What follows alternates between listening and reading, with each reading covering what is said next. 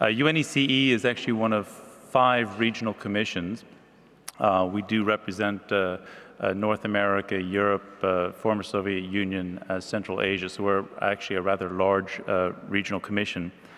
But with those five commissions, we've formed a network of experience sharing, of capacity building, and that's very much in the spirit of, it's very much in the context of uh, UN energy. Um, I'm going to be using the energy efficiency project as a specific example, um, but that's again in the context of this experience uh, sharing. Now, our mandate in the Sustainable Energy Division is about securing affordable and sustainable energy supply. That's a very loaded phrase. The idea of security of supply is in there the idea of affordability. Affordability means making the investment, making sure that the end users are getting uh, energy supplies that they're able to, to, to buy. And then there's sustainability. Now, when we talk about sustainability, we are thinking clearly in terms of three distinct dimensions. The first one is the societal dimension, the political dimension. It has to be seen as working to the benefit of society, helping the quality of life, uh, growth, etc. And if that doesn't work, the system falls down. The second one is the economic dimension.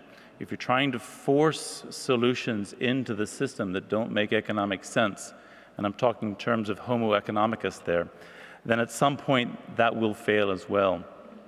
And then the third one is the environmental one, and that's what everyone's most familiar with when we speak about sustainability. Now, on that specific dimension of environment, we've been talking all through yesterday and today about the target of 30% of um, uh, primary energy supply from renewables by 2030.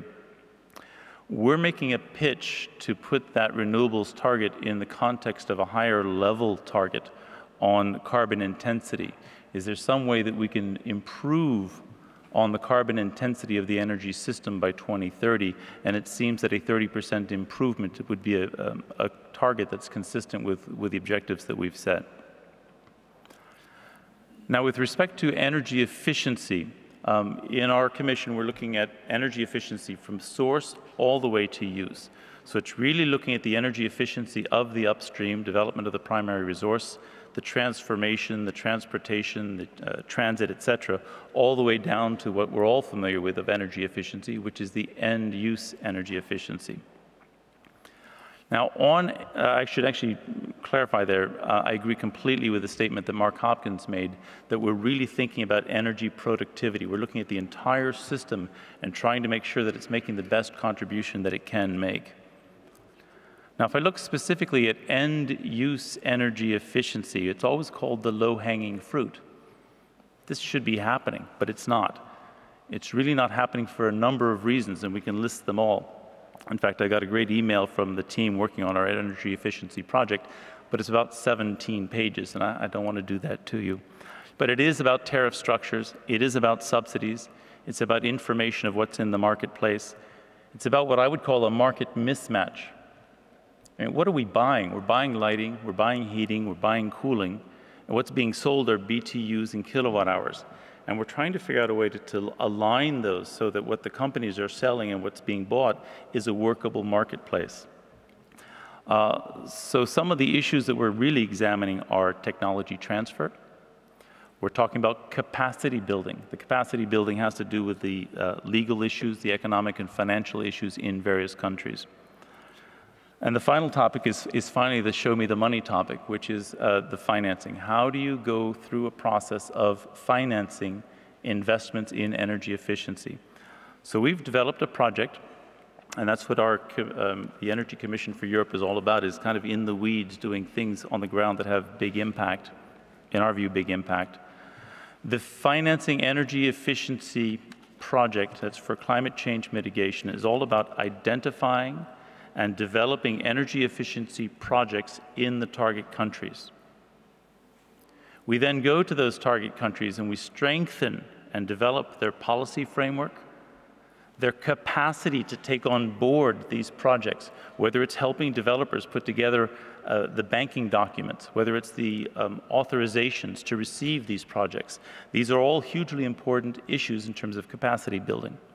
And then finally, we're trying to promote investment. So one of the critical, I, I guess I would call it the gem of this project, is the development of an investment fund. It's not our investment fund. It's an investment fund set up by, funded by private sector investors who can come in and say, look, here's this opportunity, and because the framework has been put in place, we can make the investment and we can extract a return.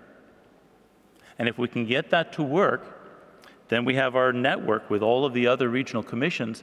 We can go through and share this experience. And it's a very effective way to accelerate the uptake of energy efficiency technology globally. But we're trying to use our specific uh, region as, as, a, as an example, or if you will, as a guinea pig. So that whole project and what we're about very nicely fits in with what Mark Hopkins has described in terms of these regional energy efficiency strategy approaches, and we hope to build on that. I've got a number of other comments that I could make, um, but I see my little red flag is about to go up, so I will actually stop there and thank you all for your attention.